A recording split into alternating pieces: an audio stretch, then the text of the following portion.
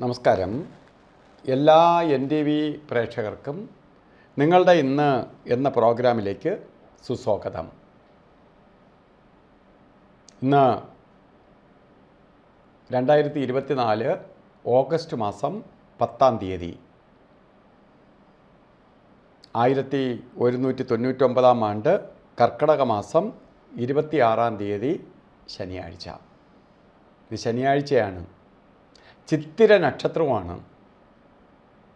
നക്ഷത്രം വളരെ ദോഷപ്രദമായ നക്ഷത്രമല്ല എങ്കിൽ പോലും ഇന്നത്തെ ദിവസം ശനിയാഴ്ചയാണ്.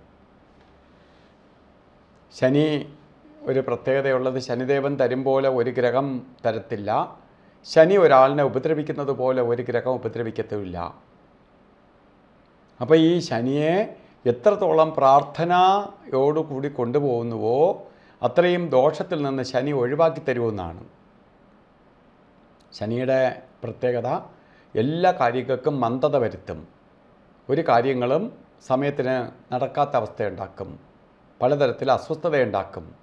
ഇതൊക്കെയാണ് ശരിക്കും ശനിയുടെ പ്രത്യേകത. ഏറ്റവും പ്രധാനം എന്ന് പറയുന്നത് ഈ കർക്കിടക മാസത്തിലെ ചിത്തിര നക്ഷത്രത്തിലെ ബർത്ത്ഡേ വന്നിട്ടുള്ളവരുടെ അവസ്ഥയാണ്. മറ്റുള്ളവർ കുറച്ച് പ്രാർത്ഥിച്ച് അല്ലെങ്കിൽ ശ്രദ്ധിച്ച് ഒരു ദിവസം പോയാൽ മതി. മറ്റുള്ള ഒരു വർഷത്തെ ഫലത്തെ ചിന്തിക്കുന്നതാണ്. വാർഷിക ഫലത്തെ ചിന്തിക്കുമ്പോൾ വളരെ സൂക്ഷിക്കേണ്ട ഒരു വർഷമാണ് നിങ്ങൾക്ക്. പലതരത്തിലുള്ള ശാരീരിക പ്രശ്നങ്ങൾ മാനസിക അസ്വസ്ഥത സാമ്പത്തിക ഞെരുക്കം അതുപോലെ അപകടങ്ങൾ പലതരത്തിലുള്ള ദുർനിമിത്തങ്ങൾക്ക് ഇടവരുന്ന കാലഘട്ടമാണ് ഈ ഒരു വർഷം എന്ന് അറിയുക അതുകൊണ്ട് എന്ത് ചെയ്യണം നമ്മൾ ശനീശ്വരനെ അത്രയ്ക്ക് പ്രീതിപ്പെടുത്തി കൊണ്ടുപോകണം ശനിയെ എത്രത്തോളം പ്രീതിപ്പെടുത്തി കൊണ്ടുപോകാമോ അത്രയും ശുഭഫലം സിദ്ധിക്കും. ശനിയെ പ്രീതിപ്പെടുത്തി കൊണ്ടുപോകാൻ വേണ്ടി എന്ത് ചെയ്യണം ശാസ്താവിന് ശനിയാഴ്ച ദിവസങ്ങളിൽ നീരാഞ്ജനം കത്തിക്കണം. ശനി വ്രതം നോക്കണം. സൂര്യഭഗവാനെ തൊഴണ ഒരു വർഷക്കാലവും സൂര്യനെ തൊഴുകയാണ് ഏറ്റവും എളുപ്പ വഴി. ശനീശ്വര യന്ത്രം ദേഹരക്ഷയായിട്ട് ധരിക്കുക. ഇതൊക്കെ ചെയ്തു പോകുമ്പോൾ ശനിയുടെ കാഠിന്യം കുറയുകയും ശനി നമുക്ക് അനുകൂലപ്രദമായി മാറുകയും ചെയ്യും. അതുപോലെ ഇന്നും രാവുകാല സമയം നോക്കി വേണം. ഒന്നാമത് ശനിയാഴ്ചയാണ് നിങ്ങൾക്ക് നിങ്ങൾ ഓരോ കാര്യത്തിന് ഇറങ്ങേണ്ടത്. ഇന്ന് രാവുകാല സമയം വരുന്നത് ഒമ്പത് മണി മുതൽ പത്തര മണി വരെ എന്ന് കലണ്ടറിൽ രേഖപ്പെടുത്തിയിട്ടുണ്ടെങ്കിലും രാവുകാല സമയം വരുന്നത് ഒമ്പത് മണി ഇരുപത്തിനാല് മിനിറ്റ് തൊട്ടേ രാവുകാലം തുടങ്ങുകയുള്ളൂ. അതായത് പത്ത് മണി അമ്പത്തേഴ് മിനിറ്റ് വരെ രാവുകാല സമയമുണ്ട്. രാവുകാല സമയം ഒരു ശുഭകാര്യങ്ങൾക്കും എടുക്കരുത്. ഒരു ശുഭകാര്യങ്ങൾക്ക് നല്ലതല്ല.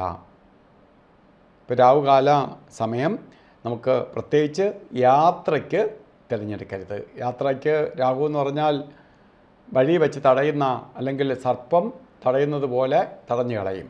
അതുകൊണ്ടാണ് ഒരു യാത്രയ്ക്കും ബാധ യാത്രയ്ക്ക് പൂർണമായിട്ട് ആരംഭത്തിൽ ശുഭയാത്രയ്ക്ക് ഒഴിവാക്കണം എന്ന് പറയാൻ കാരണം. അതുപോലെ ഗുളിക കാലവും കാലവും ഈ രണ്ട് സമയങ്ങളും ഒരു ശുഭകാര്യങ്ങൾക്കും എടുക്കരുത്.